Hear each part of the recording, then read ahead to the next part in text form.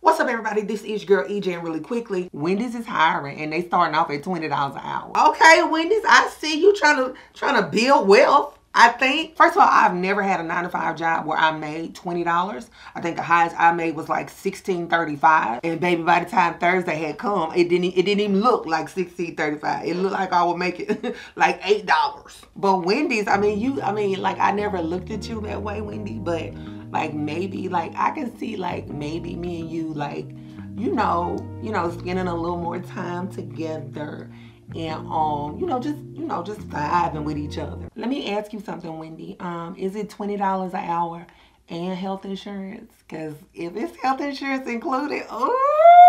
I mean, you know, it, it, you know, it is something to think about. I saw a lot of people saying, you know, there's no reason why anybody should be unemployed if they're paying people twenty dollars an hour. Everybody's just being lazy. Hold on, hold on, cause who you who you calling lazy? I'm just hold on, who you? Honestly, I feel like just cause you're paying twenty dollars an hour, that doesn't make it an ideal career. They ain't got to work at Wendy's for me. The pandemic showed people if they didn't want to put up with certain things on the job, baby, they didn't have to. You could offer all type of pay and perks and pizza. If these people don't want to work these jobs and deal with your mess, they don't have to. Now, would I work at Wendy's for $20?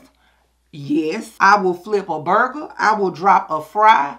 I will mop a floor. And I could get the strawberry lemonade for free. And a Frosty? What? I got kids. I got bills. I got debt yes, I will work at Wendy's for $20 an hour. Now, as always, I want to hear from you guys. Would you work at Wendy's for $20?